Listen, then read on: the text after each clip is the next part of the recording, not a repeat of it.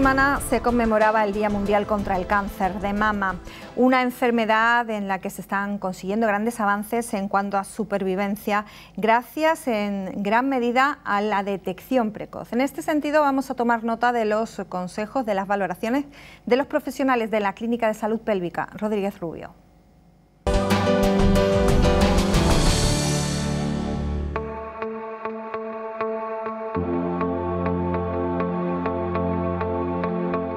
Hola, soy Lucía García Verbel, ginecóloga de Rodríguez Rubio, Centro Integral de Salud Pélvica. Y hoy os voy a hablar de, la patología mamaria, en especial del cáncer de mama. Y con motivo del Día Internacional del Cáncer de Mama, que ha sido recientemente, y en concreto se ha celebrado aquí el, Congreso Nacional de la Sociedad Española de Patología Mamaria, pues con temas de actualidad que se han tratado, pues con este motivo voy a hablar justo de, la patología mamaria, en concreto del cáncer de mama.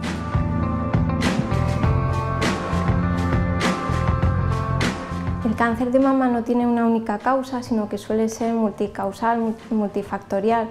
Se consideran factores de riesgo, como puede ser el retraso de la maternidad en la mujer, o la lactancia materna, sobre todo eh, la falta de, lactancia materna o a edades más eh, posteriores, eh, contaminantes ambientales, una, alimentación inadecuada, sobre todo son los que consideramos factores de riesgo. También existe el cáncer que tiene un componente hereditario, sobre todo relacionado con mama y ovario.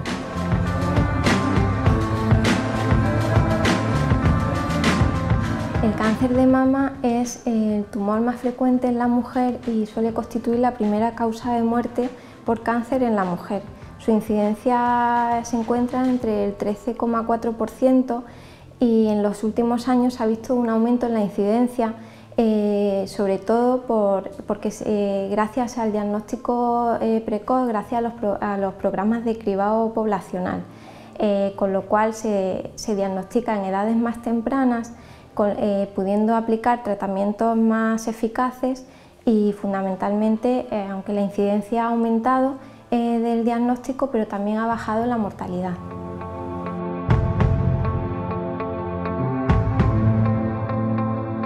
El cáncer de mama y la patología mamaria en general se puede diagnosticar mediante distintas pruebas de imagen, entre ellas encontramos la mamografía, que es la prueba estrella o el estándar, sobre todo se utiliza en el cribado poblacional y en mujeres asintomáticas.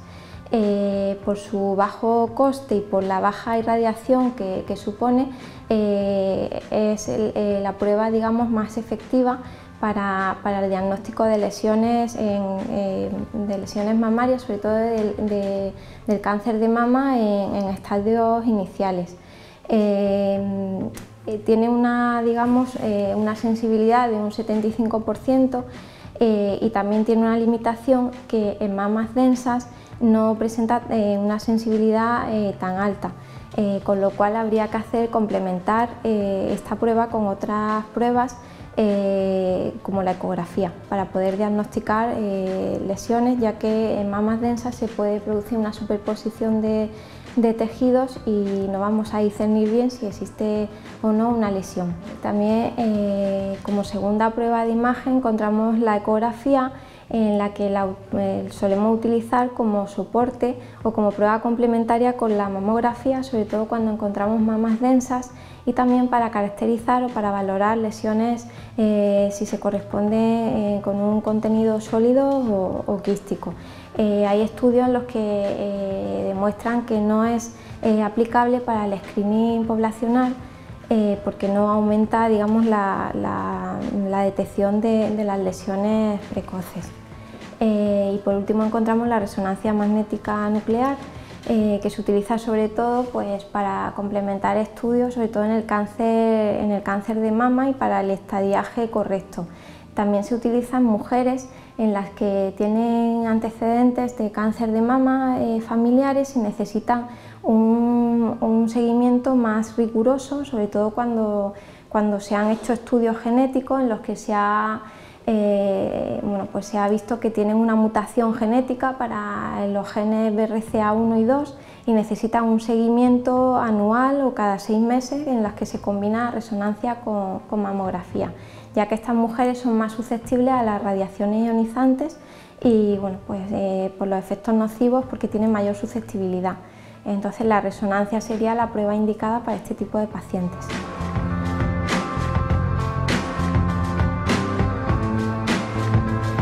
Existen métodos de diagnóstico precoz del cáncer de mama, en concreto los programas de cribado poblacional o de screening, eh, en el que eh, a partir de, se, realizan a partir de, una edad determinada, en concreto a partir de los 50 años.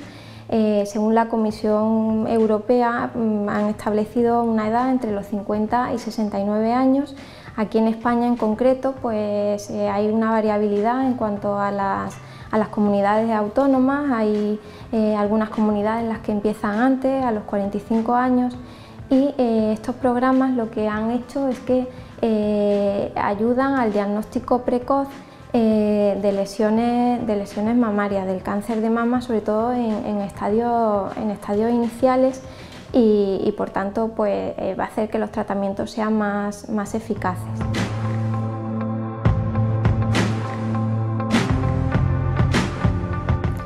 Los pilares fundamentales del tratamiento del cáncer de mama eh, fundamentalmente van a ser la cirugía y los tratamientos neoadyuvantes eh, como la quimioterapia, radioterapia y hormonoterapia, en función muchas veces pues, del tipo de cáncer y las características tumorales. Eh, en los últimos años ha habido un aumento de la cirugía conservadora, eh, fundamentalmente eh, para realizar este tipo de cirugía necesitamos que haya un volumen adecuado o una relación del volumen tumoral con respecto al volumen mamario.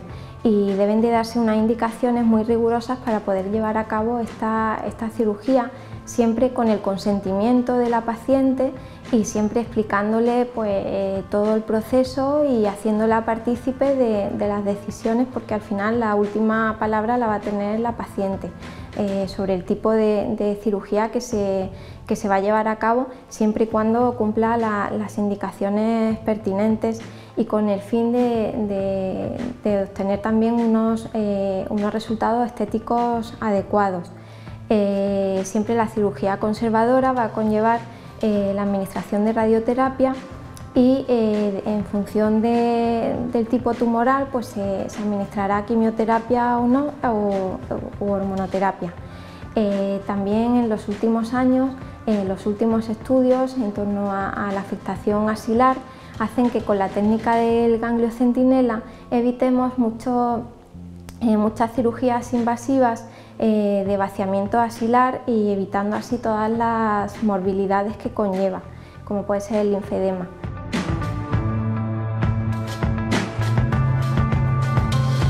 La cirugía conservadora del cáncer de mama eh, consiste en extirpar eh, únicamente el tumor. Para llevar a cabo esto necesitamos que haya un volumen adecuado o una relación entre el volumen mamario y el volumen tumoral. Es verdad que, en los últimos tiempos, con, la administración de la quimioterapia neoadyuvante, podemos llegar a reducir el tamaño tumoral, sobre todo en tumores que son grandes. La finalidad es pues, el, mantener o el conservar la mama de la mujer y sobre todo eh, es fundamental obtener unos resultados cosméticos y estéticos adecuados.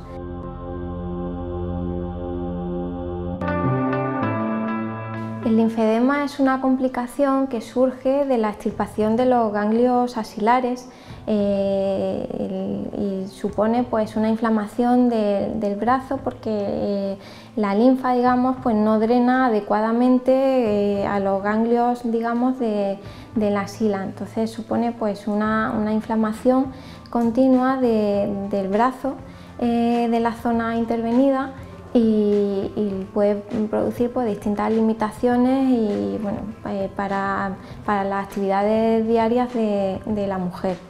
Eh, con las últimas técnicas operatorias, como puede ser la biopsia selectiva del ganglio centinela, eh, se ha reducido notablemente pues, las técnicas de vaciamiento axilar. Eh, los últimos estudios también, pues eh, lo que vienen a decir es que hay que ser lo más conservador posible y hacer uso de otro tipo de tratamientos adyuvantes eh, siempre y cuando pues, cumplan una serie de requisitos y de condiciones. El tipo tumoral y si hay o no afectación axilar, pues el, número de ganglios afectados y si va, si va a llevar posteriormente radioterapia o no.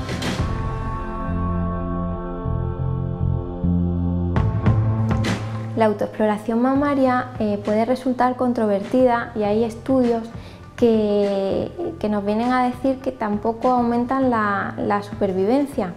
Eh, nosotros recomendamos que, se, haga eh, porque nos ayuda principalmente a conocer nuestra mama y saber cuando aparezca algún proceso patológico, pues saber identificarlo. Eh, aconsejamos que sea mensual, que se haga justo la semana eh, posterior a la menstruación, porque en ese momento pues, la mamá suele estar menos eh, dematizada y una mamá en reposo. Y principalmente consiste en una, en una inspección visual delante del espejo, pues nos inspeccionamos si las mamas son simétricas, si hay, los pezones tienen alguna alteración.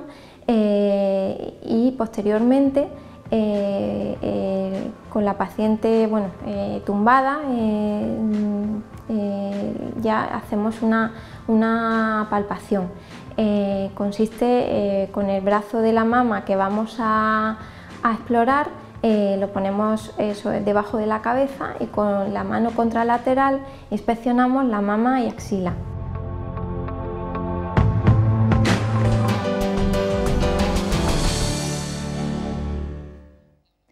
La psicología deportiva se ha convertido en los últimos años en un elemento imprescindible para la preparación de los deportistas. Tenemos en nuestro plató a una psicóloga especialista en la materia, María del Carmen Espartero. María del Carmen, Meli. Sí, Meli, Meli mejor. ¿Prefieres que te llamemos Meli? Meli, bienvenida. Gracias. Em, estamos eh, hablando de una especialidad de la psicología que, con la que se cuenta ya mm, cotidianamente, digamos, ¿no? Bueno, no todo lo cotidianamente que nos gustaría a nosotros, pero sí que cada vez se habla más de ella, ¿no? Y afortunadamente en España el punto de partida de la psicología del deporte fue la Olimpiada del 92, así que fíjate tú que es reciente, realmente, o relativamente, comparado con otras disciplinas de la psicología, ¿no? Con otras áreas de la psicología, como la psicología clínica, que ha sido siempre la más como la más conocida. ¿no? ¿Qué le aportáis a los deportistas vosotros? Bueno, pues sobre todo nuestro objetivo es trabajar para la mejora de su rendimiento, o sea, es eh, colaborar, somos un miembro más o un profesional más que ayuda y que aporta eh, su conocimiento para lograr rendir óptimamente, para conseguir un rendimiento óptimo del deportista y aplicando para ello pues las técnicas, tecnologías, bueno y cada vez más tecnologías ciertamente, las tecnologías y técnicas de nuestra disciplina. ¿no? Hablamos de mejorar eh, sus marcas, su rendimiento, evitando también eh, que se queden más atrás por una lesión, evitándoles eh, los miedos a las competiciones, son muchos. Es trabajar sobre muchas cosas. Es muy amplio, ¿no? sobre las variables psicológicas, por ejemplo, que influyen en el rendimiento las básicas básicas, motivación, control de estrés, autoconfianza, comunicación, cohesión de equipo, atención, concentración, es decir, trabajar sobre todos esos factores, identificar cuáles son, porque dependiendo de la disciplina deportiva, si es deporte individual, de equipo, de adversario, si estás solo, si tienes un minuto para eh, un minuto y medio como gimnasia rítmica para hacerlo todo perfecto, o es un partido de tenis que sea el que gane, todo eso, el tipo de disciplina influye muchísimo. Luego la personalidad del deportista, claro, es lo que va a marcar también el desarrollo de sus estrategias para afrontar eh, el estrés, la situación de competición, los malos resultados, el tener, eh, bueno, la prensa, por ejemplo, la presión mediática.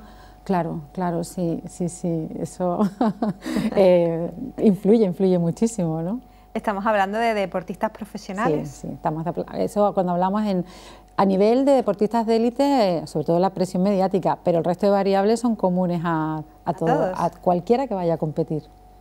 Mm. Em, no solo las técnicas para rendir más, para ser mejor en la competición, eh, mm, también eh, contrarrestar la adicción a esa actividad mm, física. La adicción a la actividad física es un tema un poco, a ver, diferente, porque realmente es que depende. Si estamos hablando de deportistas de alto rendimiento que pasan su trabajo es el deporte. Entonces, sus horas, las horas de su día son realmente eso. El problema es cuando ha pasado ese momento si tiene que dedicarse su vida, a, tiene que dedicarla a otras actividades y no sean capaces de abandonar ese número de horas excesivas, a focalización excesiva en que tengo que ir al gimnasio, que tengo que fortalecer la musculatura, que tengo que controlar mi alimentación, que tengo que dormir tantas horas, eso ya sí es un problema cuando te limita. Cuando en alto rendimiento realmente no. La adicción al deporte sí que supone el engancharte eh, o lo que estamos viendo, ¿no? que cada vez hay más personas que tienen otra actividad en su vida, su vida no es el deporte, pero realmente parece que sí lo fuera, porque gira eh, su actividad social, personal y emocional, todo su tiempo está ocupado en eso. Y bueno, dejando de lado a lo mejor otras actividades que también son importantes. ahí es donde está el límite, hay que saber poner cada cosa en su sitio y racionalizar.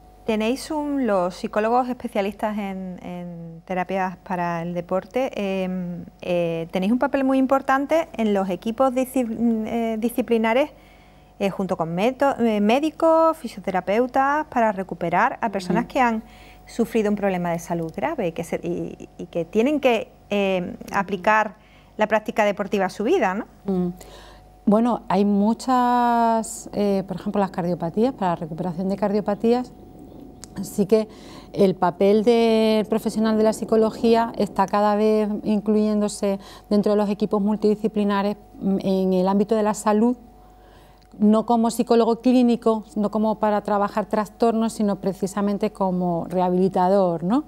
Eh, junto pues, con médicos rehabilitadores, fisioterapeutas, eh, propios cardiólogos u otros profesionales, ¿no? los enfermeros, también los profesionales de la enfermería que también están, eh, se forman, se hacen programas y nuestro papel, aparte de trabajar mm, la estabilización emocional después de un shock, como puede ser sufrir un infarto o cualquier otra enfermedad que supone un cambio en tus hábitos de vida, está precisamente en conseguir el cambio de conductas para que esa adherencia a hacer ejercicio físico de forma regular y que tenga que integrarse en tu hábito de vida por lo que te queda, sea realmente eficaz ¿no? y no haya, no haya recaídas o, se intenten evitar otras recaídas. Los estudios que se han hecho muchísimos ¿no? a lo largo de, estos años sobre, eh, por ejemplo, pacientes con, em, que han sufrido infartos, los que han logrado eh, hacer ejercicio físico de manera regular y tal, tienen muchas menos o han tenido muchas menos incidencia un segundo infarto. Eh, no han repetido infartos. ¿no? Eso como por ejemplo.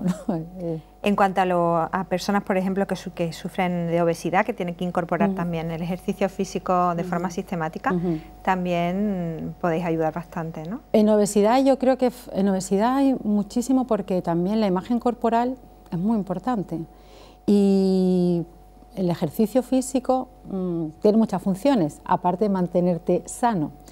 Eh, según el momento de tu vida en el que estés, le das una función u otra o haces ejercicio para una cosa o para otra. Para otra. Eh, cuando empezamos con la, la edad de la adolescencia, sobre todo, que está ese cambio corporal y tu identidad ¿no? está asociada a tu cuerpo, eh, es donde se producen muchos trastornos y además está el cambio físico, o sea, que, que la propia, el propio desarrollo impone. Entonces, el poder ayudar a que se haga tener hábitos de vida saludables, piensa a través del ejercicio físico, el establecimiento de objetivos, un buen análisis de costes-beneficios de hacer o no esa actividad física, ¿no? incluso incluir otros tipos de hábitos como la alimentación, trabajar con otros profesionales, ¿no? por ejemplo nutricionistas, eh, con educadores también es muy muy importante. Entonces, el lograr que eso se haga de una forma normalizada que se, y que se mantenga durante el tiempo y se haga de una forma racional es muy importante, mm, porque puede prevenir, por ejemplo, otro tipo de trastornos como la bulimia, que tú te pones estupendo, asocias tu esquema corporal, estoy perfecta, o la anorexia, ¿no? Estoy genial, tanto en chicas como en chicos, cada vez más, estoy muy bien, estoy fabulosa, y hago ejercicio y me machaco, me machaco, me machaco, me machaco. Entonces, si dejo de hacer ejercicio, mm, voy a engordar, y si voy a engordar, tal, o, estoy engordando, pues me dejo, caigo en depresión, empiezo a comer y otra vez engordo. Y luego otra vez hago ejercicio solamente con el objetivo de poder adelgazar para poder llegar a ese perfil ideal, ¿no? esa imagen idealizada que yo tengo, que tengo que estar así basado. Bueno, todo, esto así en, a, grandes rasgos te lo estoy contando, porque evidentemente aquí hay muchísimo trabajo detrás y una complejidad. Pero básicamente es un poco eso, y entonces la obesidad es un trastorno que tiene un componente genético también importante, pero sí que es cierto que la alimentación y el ejercicio son básicos para mantenerla a raya y para poderla controlar. Y desde los psicólogos aquí creo que tenemos bastante mm, que, hacer y que apoyar. que aportar, claro. que, que, aportar, ¿no? Mm. Eh, Meli Espartero, eh, psicóloga especialista en, el deporte, muchísimas gracias por, por venir. Vamos eh, en nuestro programa a continuar hablando de deporte. En este caso nos quedamos con la propuesta de talleres para ejercicios hipopresivos que, que nos plantea la Fundación Municipal de la Mujer del Ayuntamiento de Cádiz.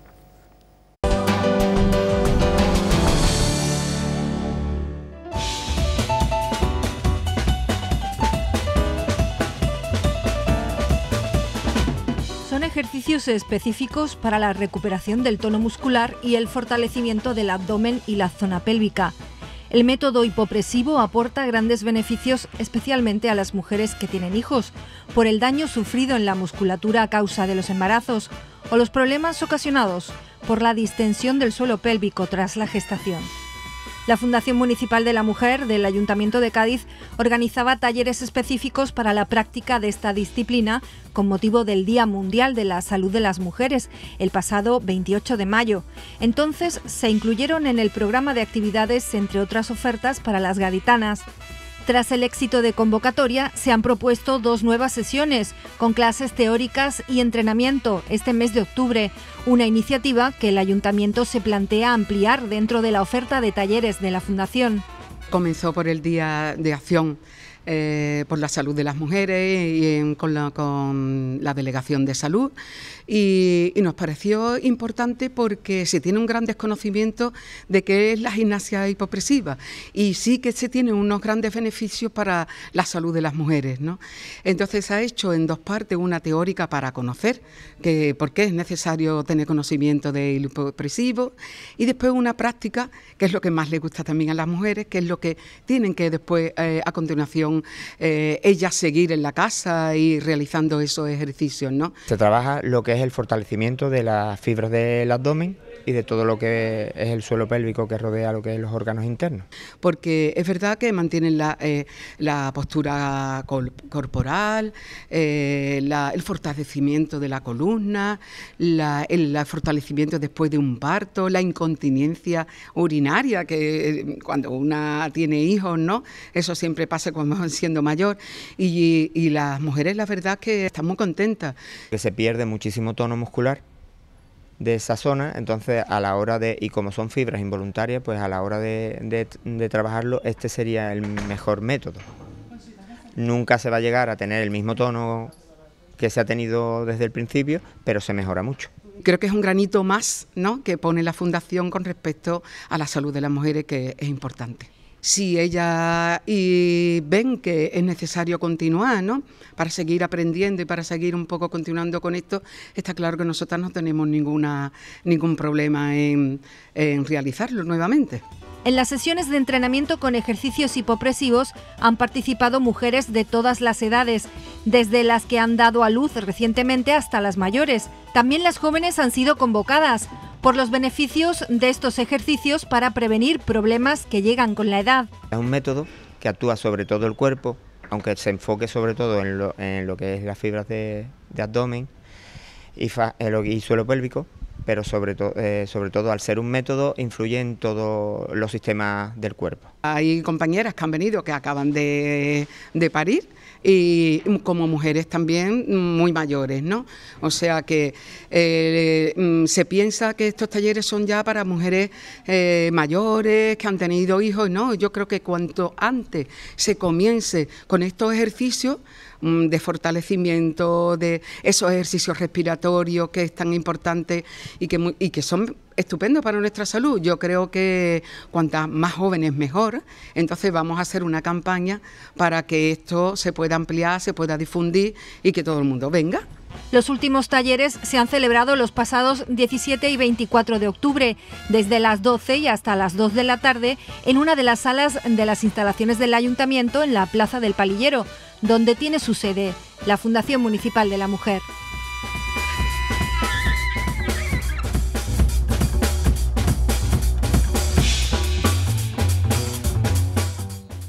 Hasta aquí llegamos esta semana con nuestras propuestas eh, sobre salud y bienestar. Volvemos en unos días con más contenidos. Esperemos contar con ustedes. Muchas gracias por estar ahí. Hasta entonces, sean muy felices.